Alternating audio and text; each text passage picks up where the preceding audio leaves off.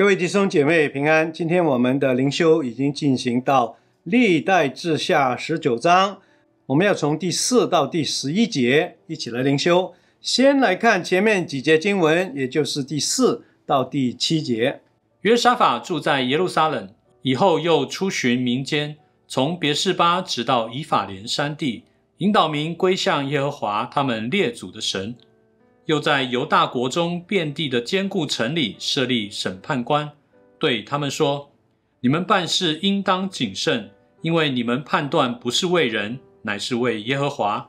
判断的时候，他必与你们同在。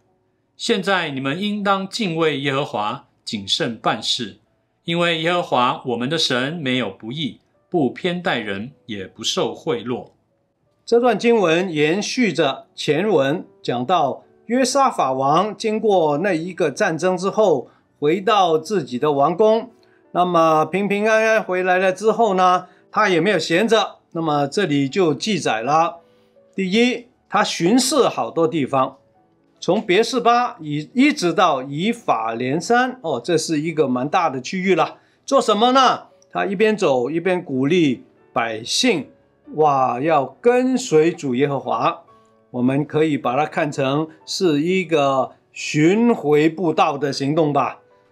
不止如此，他也在各个重点城市啊建立很重要的司法制度，管理这些百姓，而且讲了一段非常重要的话，那就是你们做判断这件重要的事物的时候，不是为了人，乃是为了耶和华。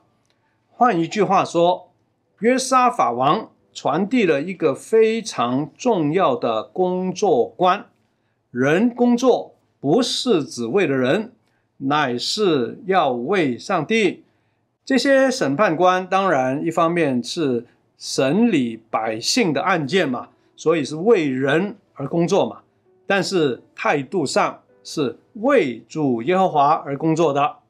这一个的工作伦理啊。不只是旧约应该如此，其实到了教会的时代，岂不也是应该如此吗？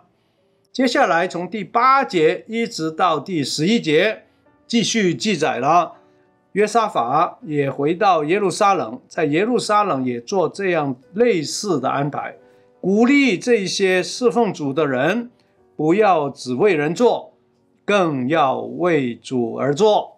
哇，这一句话的的确确是跨越时空，从当时的时代告诉当代的侍奉的人，不论是地方上做审判的司法官，或者侍奉主的立位人、祭司，都要秉持这样的原则。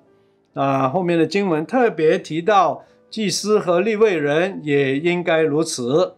那么就带出了一个。很重要的观念了，那就是其实这样的工作观呢，没有圣俗之分的。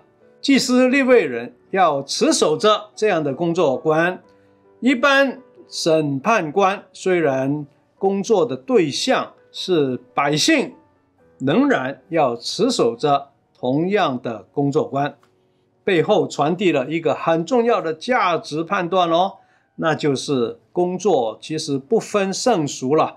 我们都是为主而做，有了这个观念呢，在今天的教会里面，当然有一群人是全时间的侍奉上帝，大部分的弟兄姐妹要在社会上尽忠，不管是侍奉上帝的传道人，还是在社会上工作的主类肢体，其实都应该有同样的工作观，那就是我们在世上所做的。不是为了人，而是为了主。有了这个观点呢，我们在工作上就能更蒙主喜悦了。愿神祝福你平安。